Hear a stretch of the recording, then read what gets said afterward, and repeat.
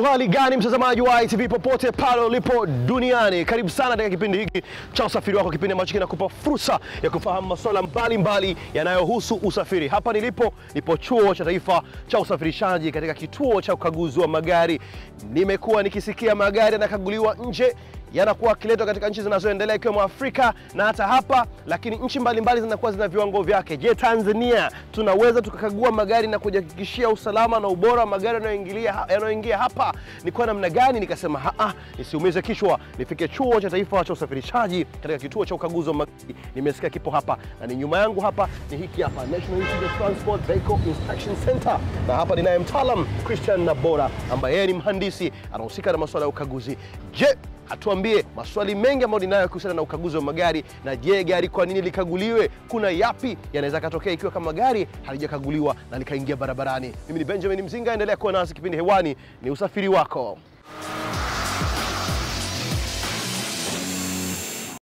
Nimekwambia nitakuwa naye hapa mtaalam wa masuala haya ya ukaguzi wa magari, mhandisi Christian Nabora, na hapa nilipo nipo katikati ya kituo hiki uh, cha ukaguzi wa magari kilichopo chuo cha taifa cha usafirishaji. Mhandisi Nabora, habari wakati huu? Njema kabisa. Habari za leo? Salama kabisa, nimefurahi sana uwepo wako kwa siku ya leo. Ni muda mrefu sana tujafanya program uh, kuhusiana na masuala ya usafiri haya uh, hasa katika masuala ya ukaguzi, lakini leo nataka kufahamu kituo hiki kipindi hicho zamani, wakati uh, tunafanya kufanya programs zingine, nilikuwa nikikiona kiwa kiboreshwa boreshwa kadri mwaka na mwaka, na mitambo mipya imekuwa ikija hapa, usimikaji kwa ajili ya ukaguzi wa magari. Nikawa nawaza, nafikiria, nasikia watu wanakagua nje magari, lakini vile vile na hapa Tanzania na magari yanatoka nje yanakaguliwa huko, ama tunakagua hapa, lakini na hapa tuna uwezo kiasi gani? Nikasema hayo maswali haya yote haya, wakati na bora yupo, lazima niyapate uh, majibu yake. Basi kabla ya kwenda huko, kwanza tuzungumzie hichi kituo. Kituo kina shughuli zipi? Karibu sana. Ni kweli Bwana Mzinga, ni siku nyingi na ni miaka mingi hatujafanya program, kwanza wakati tunafanya masuala ya injini na lubrication. Kwa hiyo leo tumekutana tena katika kituo cha ukaguzi wa magari hapa Chuo cha Taifa cha Usafirishaji. Ni kama ulivyosema, kuna kiu kubwa sana ya kufahamu juu ya ukaguzi wa magari yetu na ni kwa nini. Moja kwa moja nikupe tu historia fupi ya kituo hiki. Kama ulivyosema, kwa kweli kituo kilianzishwa mwaka 2016 na lengo haswa la kituo hiki ni kutoa mafunzo, lakini kukagua magari. Chuo cha Taifa cha Usafirishaji, moja ya vyuo vya kisekta ndani ya Wizara ya, usafiri, ya, ya Uchukuzi, na chuo hiki kimejikita katika masuala mazima ya usafirishaji. Hakuna kituo kingine kama hiki, hivyo kilibobea pia kwenye masuala mazima ya usafiri wa barabarani. Na unavyosema swala la usafirishaji, usipotaja swala la usalama, ina maana bado usafirishaji haujakamilika. Nia ni kusababisha kwamba mtu anayesafirishwa au mzigo unaosafirishwa utoke sehemu moja kwenda sehemu nyingine salama. Neno salama ndio maana ya hiki kituo. Hivyo kituo hiki lengo lake kubwa ni kukagua magari au vyombo vya moto barabarani, kuanzia pikipiki, tuna hizi pikipiki za miguu mitatu, magari madogo mpaka magari makubwa. Haya magari malori yale. malori yale yote yanakaguliwa hapa na tunakagua mengine mpaka yana shehena ndani. Kwa hiyo kituo ni kituo mahiri, ni kituo ambacho kime, kinathaminika, ni kituo kikubwa kwa Tanzania. Hakuna kituo kingine kama hiki Tanzania nzima, ni cha kipekee Ni kituo kimoja tu kwa Tanzania nzima ambacho kina uwezo wa kukagua magari. ya kilichopo hapa Tanzania. Hakuna kituo kingine kama hiki ambacho kina mitambo ya kisasa. Mitambo yetu hii ni mitambo inayotumia kompyuta, mingi inatumia kompyuta, lakini pia kuna mitambo mingine ambayo ni ya manyo ya kawaida ambayo pia tunaitumia, lakini pia tuna vijana mahiri sana. Chuo cha Taifa cha Usafirishaji kama alivyokuambia kina uhandisi wa magari, na ndani ya uhandisi wa magari na uhandisi wa mitambo nasema automobile engineering na mechanical engineering tunapika vijana kwa ajili ya kuja kufanya hizi kazi, na hivyo kituo hiki kikaleta course inaitwa vehicle inspection. Maana yake ni kwamba imejikita kukagua gari. na usema vehicle inspection, maana gari inakaguliwa kuanzia mifumo yote, uendeshaji wake na namna unavyoweza kulimudu gari barabarani ili kuwa salama. Na ndio nikasema pale mwanzoni, usafiri shaji wa mizigo au usafiri pasipo usalama, huo sio usafiri. Kwa usalama wa kituo, usalama wa chombo chako ni moja ya, ya, ya nia kubwa ya kituo hiki ambacho kimetengenezwa hapa Tanzania, na niseme tena ni cha kipekee, hakuna kingine Tanzania. Upekee huo ni wa namna gani Okay. kwa kituo hiki kwa, kwa katika ukaguzi wa magari? Maana maana tunafahamu tuna, tuna hata kwa barabarani magari anaweza kama fundi akalitazama gari kalikagua tu akasema bwana, gari haya sawa, nenda. Lakini kwa nini mtu akaguliwe na, na, na nyinyi wataalamu katika kituo hiki? Asante. Unajua, tunavyosema siku zote ukaguzi uko wa aina nyingi. Kuna ukaguzi wa kuangalia kwa macho na ukatoa maelezo, lakini tofauti na sehemu nyingine, hapa Chuo cha Taifa cha Usafirishaji, kituo hiki kina mitambo. Mitambo ndio inatumika kukagua, mitambo ndio inatumika kupima, tofauti na kule kuangalia kwa macho ukasema okay, gari hili lina shida fulani. Hapa gari linaingizwa kwenye mitambo, na kizuri zaidi, thamani ya kituo hii ni ule ukisasa, tunasema modern instrument, modern machine. Kwa maana gani? Atakayesema breki ime ina shida sio mtu, kinachosema ni mashine. Kwa hiyo tutapoingiza gari kwenye mashine itakuambia hapana, breki yako mguu wa nyuma kulia una shida, nguvu haitoshi, au gari zima breki hii Twende twende twende taratibu hapo bwana mhandisi na bora. Sisi tunajua huko tunapokuwa tunapimaga magari yetu, ukitaka kujua breki inafanya kazi au la, fundi anaingia kwenye gari anaendesha, alafu anapiga breki, yaani tunaikimbiza ile gari, alafu tunapiga breki pale, ndo fundi pale anakuwa anasema ngoja kwanza, na kanyaga na kanyaga, nakwambia "Ah, ah, hii breki sio sawa. Nyinyi mnataka kutuambia hapa hampimi hivyo? Mzinga, gari haipimwi kwa kuangalia tu kama imekamata au haipimwi kwa hisia. Tunaangalia vipimo. Vipimo vinasemeje? Je, breki hii inafikia viwango? Ishu sio kusimama tu, umesimama katika umbali gani? Je, breki hiyo inaweza kuhimili gari lilikuwa limesimama mahali kulishikilia? Kwa sababu breki sio ishu tu ya kwamba unasimama. Kuna wakati unataka kusimama na kuliweka gari kwamba kwa usalama, tunaita parking. Hasa je, inaweza ikashikilia hilo gari au baada ya muda parking inaondoka, mwishowe gari linaserereka kwenye mteremko? Kwa hiyo kupima breki tunahitaji vifaa na vifaa vya kitaalamu viko NIT. Tutatembea mahali pengine pote, sijui, lakini sijai kuona hivyo mashine kama hizo zipo. Hapo nazungumzia ukaguzi wa magari, mambo ya mifumo, sijui breki, halikadhalika. Nataka kufahamu, unasikia kuna ukaguzi wa magari, vitu magari kaguliwa kabla ya kusafirishwa kuja kwa nchi zinazoendelea, yale ambayo yamekuwa akiuzwa. achana yale yanatoka kiwandani moja kwa moja, yale ambayo yameshakwisha kutumika wakati mwingine yanakuja katika nchi zinazoendelea. Yamekuwa mengine yamekaguliwa huko huko, na wakati mwingine tumesikia kuna baadhi ya nchi magari yanakuwa yanakaguliwa kwenye hizo nchi zao, wakitoka kule wanafika kwenye hiyo nchi, yanakaguliwa, ndo wanaona yanastahili kuingia nchini.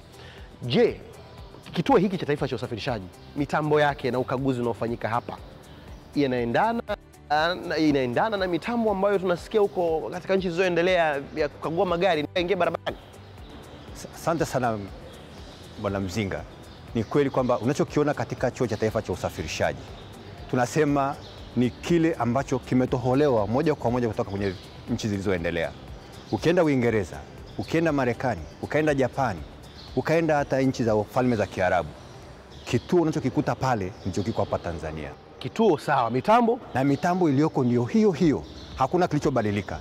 Mtambo ulioko pale Uingereza kama ni mwendo kasi ndio ulioko pale Uingereza au, South, au Afrika ya Kusini, kama ni wa break. Kwa hiyo kinachofanyika kule ndio kinachofanyika hapa Tanzania, na nipende tu kukuambia ukweli kwamba sisi Chuo cha Taifa cha Usafirishaji tangu mwaka 2016 Julai tumekuwa ni mawakala wa kupima magari yanayoingizwa nchini yale yaliyotumika kwa sheria ya TBS. Gari inapoingia hapa nchini kama ni mpya kutoka kiwandani au likiwa na chini ya miaka mitatu, kwa kweli halipimwi. Tunaamini hiyo gari bado ni salama kwa matumizi ya barabarani, kwa kisheria halipimwi. Lakini gari ambalo linazidi miaka mitatu limeshatumika nje ya nchi, tunasema used vehicles, likifika hapa nchini ilikuwa ni shuti lifi- kama alijakaguliwa kule na halina cheti cha ubora wa ile nchi kilikotoka ilikuwa ni shurti lifike hapa likaguliwe, TBS wajiaminishe kwamba hii gari ni salama kwa ajili ya matumizi ya Tanzania. Hivyo NIT kuanzia mwaka 2016 imekuwa ikifanya kazi hiyo ikiwa ni wakala sawasawa na wakala aliyeko Japan, sawasawa na wakala aliyeko Uingereza, sawasawa na wakala aliyeko nchi za Uarabuni kule. Kwa hiyo tukawa tunakagua yale magari kuanzia kipindi kile, na tumefanya kwa ubora mkubwa sana, na wakati mwingine tulikuwa tunapokea magari, unajua tuna sababu ya kupimana kwa maana nikikupa kazi lazima nifanye follow up, nifanye ufuatiliaji. Hivi je, Mzinga anafanya hii kazi kwa, kwa ukamilifu?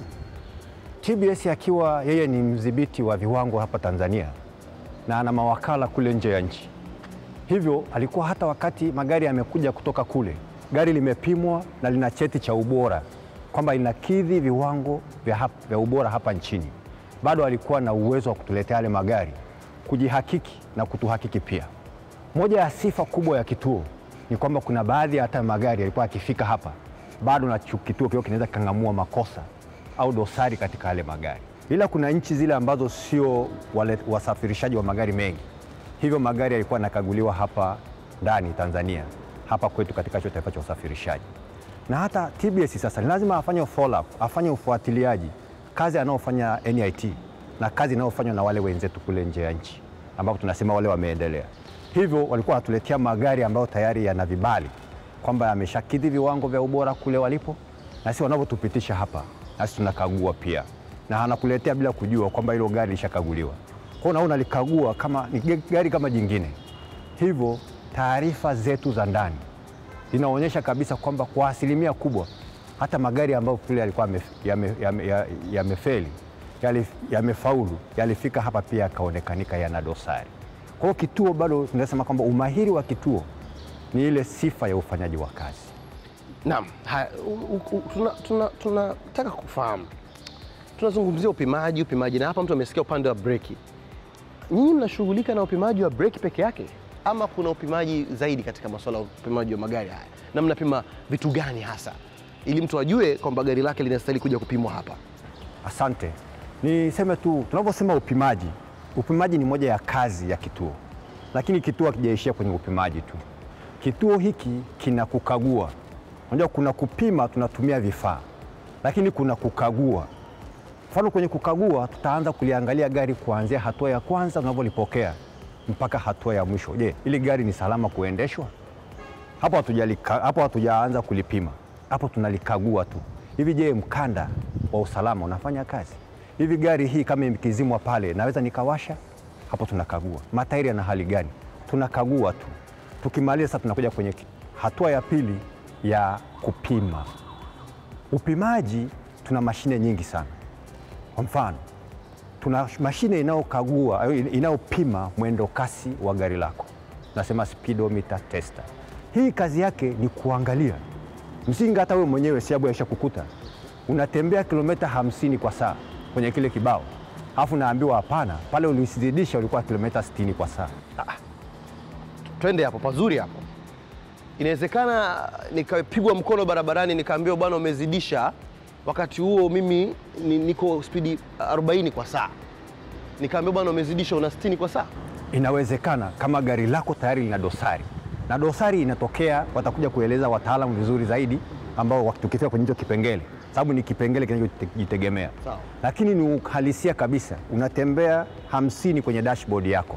Inakuonyesha hamsini, lakini mzunguko wa matairi yako na uwiano halisi sio sio hiyo hamsini, ipo kwenye sitini kwenye, da, kwenye dashboard inasoma hamsini, lakini uhalisia iko kwenye sitini.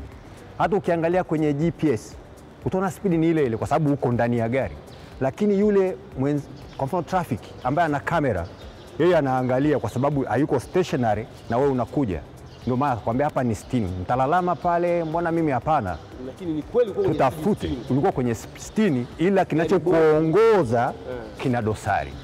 Hasa ndio tunasema tunapima hata mwendo kasi, ndio kazi mojawapo tunaofanya hapo, tunapima. Lakini tunapima breki kama alivyosema.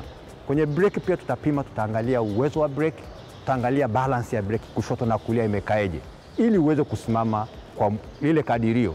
Kumbuka, unapoona hatari, kama unasimama ni kadirio la kwako wewe, hapa nitasimama mashine itatuambia hicho ni kipimo. Lakini baada ya hapo pia tunaangalia hata ule unyoofu wa matairi, nasema wheel alignment tunapima. Tuna mashine za aina mbili, kuna inaitwa scuff gauge ambayo iko chini ni automatic, lakini kuna hii ambayo lazima tufanye attachment, lakini ni mfumo wa kikompyuta. Tunapima pia swala zima la taa. Mzinga, ukiendesha magari wakati wa usiku, kuna changamoto kubwa sana barabarani. Unakutana na gari ambalo taa zote zimekumulika wewe hasa na yuko upande mwingine Yuko upande kulia mwingine. au uko upande wa kushoto wewe kumbuka, sisi tunaweka magari yetu kushoto, tunasema we are driving left. mm.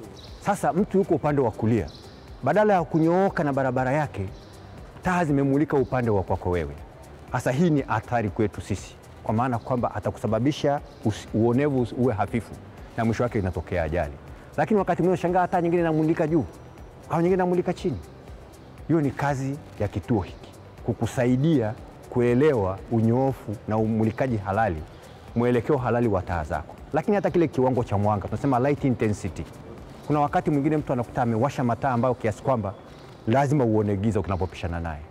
Tunakuambia taa hii imezidi, taa hii iko chini ya kiwango au kiwango ni sahihi. Mashine ndio inayotuambia, kwa sababu mashine ndio inayosema.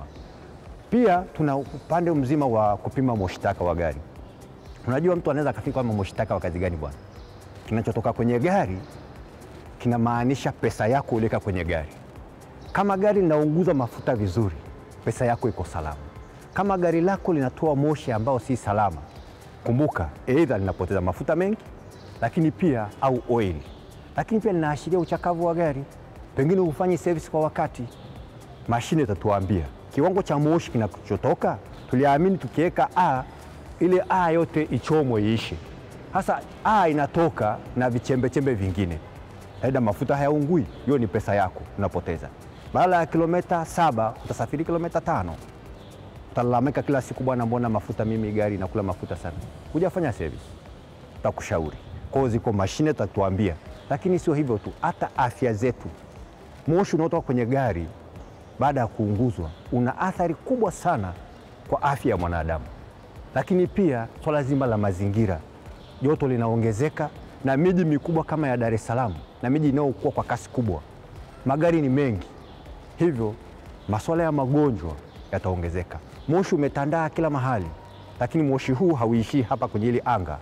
Moshi huu unazidi kusafiri kwenda juu na zaidi utaenda kuathiri, na tunasema masuala ya climate change, kwa sababu ya athari inayotokana na magari na mitambo mingine. Na hivyo hivyo vitu unaweza ukavipata hapa NIT, tunakupimia, tunakushauri, na kama kazi ya tatu ni ushauri. Hatupimi tu tukamaliza. Vijana hawa wameandaliwa kwa ajili ya consultants, ushauri elekezi wa kushauri kabisa, hii gari yako kuna shida hii na hii na hii, sasa ukafanye hiki na hiki na hiki. Hayo yote yako ndani ya huduma tunayotoa hapa chuoni kwa ile gharama ambayo tutakuelekeza baadaye, gharama ya upimaji wa magari. Una, una, unajua hapa tunazungumzia upimaji wa magari, ukaguzi na upimaji wa magari. Uh, mwingine atakuwa anajiuliza ni makampuni serikali ndio inaleta magari yake peke yake, ama makampuni yale wa mawakala wanatoa magari nje wanaweza kaleta hapa kuja kupima? Umezungumzia TBS ndio wanaleta hapa. Mimi na gari langu moja, nataka niwe naenda kupima. Je, naweza nikapima? Mtu unaweza kumsaidia akajua hayo uliyozungumzia hapa? Asante sana. Kwa kweli sisi kituo chetu kiko wazi kwa kila mtu, awe ni mtu binafsi, iwe ni taasisi, iwe ni kampuni, serikali kwa ujumla. Sisi ni tunuko, kituo kiko wazi masaa yote kuanzia asubuhi mpaka jioni, na wakati mwingine tunapata zile wasema maombi binafsi, kama siku ya Jumapili, bwana, mimi nina tenka zangu nataka kupita pale, kwa sababu zina safari ya kwenda nje ya nchi. Kituo kinatoa huduma. Kwa hiyo sisi hatujalishi ukiwa na gari moja, ukiwa na magari mia, tunakukagulia. Kwa hiyo sisi kwa kweli kituo chetu kiko wazi kwa Mtanzania yeyote. Cha msingi ni kufika kituo kilipo ambacho kiko pa hapa Mabibo, barabara hii ya Morogoro. Utaingia tu kidogo kapelekea Mabibo, kilomita moja na nusu unakikuta kituo, na milango yetu iko wazi kwa kila mtu kumhudumia, na malipo yanafanyika kwa kwa kutumia control number, wala si risiti au utakuwa na chochote kile, bali ni kwa malipo halali ya serikali. Ninyi ni wataalamu wa masuala ya usafirishaji. Uh, umezungumzia masuala ya upimaji kwa, uh, kwa, kwa magari. Nadhani Watanzania walio wengi wana hiyo tabia, ama bado kuna mwamko mdogo katika kujua umuhimu wa kupima magari haya, kukagua, alafu yaingiza barabarani. Ni kweli kwamba unachokisema ni halali kabisa, kwamba kuna mwamko wa watu ni mdogo sana, na sio watu tu, hata taasisi za serikali. Ukiwaambia unaenda kupima gari, anaamini si gari inatembea, kuna sababu gani ya kwenda kupima? Kwani nikakague gari? Ukiweza kuangalia, angalia ile wiki anaenda kwa usalama barabarani, kwa tunaadhimisha kila mwaka. Ni wangapi kweli wanapeleka gari nakaguliwa, au wengi wanakimbia hata wanapoona wenzetu wa usalama barabarani wako barabarani kwa ajili ya kukagua, hata ni bure, lakini watu huwa wanakimbia. Tabia tunasema attitude yetu haipo ndani. Kwa hiyo tunaamini kwa kila wakati kikaguliwa ni makosa tu, kumbe ni usalama wako. Ni wakati mwingine unaweza kutafakari juu ya safari yako. Hivyo shida iliyopo kubwa kwetu sisi ni hiyo, changamoto iliyopo kubwa ni kwamba hatuna ile tabia ya kupima vyombo vya moto. Inawezekana kabisa kwamba vituo kama hivi havipo, lakini kuna mwingine unamwambia bwana, njoo nikupimie gari pale, nampa ofa kabisa, lakini nakwambia hapana, gari yangu hapana, hii mitambo anaiogopa, hata mitambo imeshatokea mara nyingi. Kwa hiyo kuna ile changamoto ya watu kutokuelewa kwamba kituo hiki ni salama na ni kituo cha kisasa, na wala hatuko kwenye hukumu. Sisi ni kwa ajili ya kukushauri tu ya kwamba hatuna, Yaani hatuna kwa maana ukaguzi ni moja kati ya njia ya kuhakikisha usalama wako usalama wako. unapokuwa barabarani. Naam. Na unapokuwa barabarani, kwa sababu gani? Umeenda kununua, unasafiri toka Dar es Salaam unaenda Mbeya, chombo chako utapeleka kitafanyiwa kita ma, matengenezo, lakini je, usalama wake ukoje? Ukifika hapa tutakukagulia, tutakuambia. Haya matairi kwa kilomita yaliyotembea kwa hali halisi ya uchakavu tunaouona, hebu ukayabadilisha kwanza kabla ya kuanza safari. Yamelika upande, tutakushauri, lakini tutapoingia kule chini tutaangalia hata hizo ball joint, tutaangalia linkages mbalimbali, injini na hali gani, tunakushauri ili uanze safari salama, ufike mwisho salama. Lakini pia hata wakati unataka kwenda kununua chombo, magari yako yadi kule, tuna makampuni, kuna baadhi ya SACCOS nyingi wametumia hiyo njia. Anakuletea gari kabla hajafika kwenye malipo, au nauziana mtu gari na rafiki. Hakikisha gari yako ina hali gani, tuletee NIT, tunakagua, tunakupa ushauri, ina ubovu gani, tufanye nini. Unaenda kununua gari kwenye yadi, chukua muda kidogo, leta NIT ili ujue unachokinunua kina hali gani. Kwa hiyo si tupo hapo katikati, hatuna cha mteja au cha nani, wote tunawa treat sawa. Ina yetu ni kwamba kila kitu ile thamani ya fedha yako ibaki kuwa thamani ya chombo ulichokipata. Nam, haya mtazamaji wa ITV, huyo ni mhandisi Christian Nabora, ni kaimu meneja wa kituo cha ukaguzi wa magari kutokea Chuo cha Taifa cha Usafirishaji. Nadhani utakuwa umesikia uh, yale ambayo yanafanyika katika ukaguzi wa magari. Kwa nini tukague magari? Kuna umuhimu kiasi gani? Wengine tumekuwa tukitembea na magari yetu haya tunakagua mwaka hadi mwaka mpaka jeshi la polisi kosi usalama barabarani watuambie sasa ni wiki anaenda kwa usalama barabarani, na hapo ni kwa mbinde kweli, mpaka wakulizie stika Eh, mbona haipo Kabato hapo, ndio tafute pa ukaguzi wapi uende ukakague. Lakini kuna umuhimu na kuna tija ya kufanya ukaguzi wa mara kwa mara, walao walao mara ngapi katika mwaka unaweza ukakagua? Kwa kweli kisheria inatakiwa kabla hujapeleka chombo kwa matengenezo, tuna zile routine maintenance baada ya kilomita tano, baada ya kilomita kumi. Kuna ile ya kawaida kabisa, na mwaga oili na balisha na vitu vidogo vidogo vile vile, sio lazima, lakini unavyohisi unahitaji matengenezo makubwa, tunakushauri tukutane, yani tukupe ushauri. Kabla ama uende utengeneze ndio uje ukague? Hapana, unatakiwa uje kwanza, kwa sababu kule hana mitambo, kuna kingine hata kiona, na ndio pale unasema gari imetengeneza juzi, kwa nini tena leo imeharibika? Tukague kwanza, tukushauri uende ukatengeneze. Naam. Haya, sasa na hapa tumezungumzia umuhimu na vitu vinavyokaguliwa, lakini sasa ikiwa ni sehemu tu ya kwanza, sehemu ya pili tutakuja kuchagua kipengele kimoja baada ya kingine kutokana na mtiririko wake, kuonesha namna ambavyo wamekuwa wakikagua. Na kila kinachokaguliwa na kila kinachopimwa kina umuhimu kiasi gani, ili mradi tuwe na Tanzania salama, uweze kufahamu mambo ya msingi kwenye chombo cha usafiri, tuweze kuepukana na ajali ambazo zinaweza kuepukika. Mimi naitwa Benjamin Mzinga kwa niaba ya mpiga picha wangu Fredi Mbepo pamoja na Gerard Gumbo Soundman, tunasema hatuna la ziada, na huyu ni mhandisi Christian Nabora, kaimu meneja wa kituo hiki cha ukaguzi wa magari. Tumefikia tamati ya kipindi hichi bora kabisa cha usafiri wako. Umeweza kufahamu, umeweza kupata elimu. Kinachofuata sasa ni wewe, endelea kuwa nasi, endelea kufuatilia ITV Super Brand Afrika Mashariki wakati wowote popote pale ulipo duniani. Asanteni na kwaherini kwa sasa. Tuma maoni yako kuhusu kipindi hiki kupitia mitandao yetu ya kijamii Facebook ITV Tanzania, YouTube ITV Tanzania.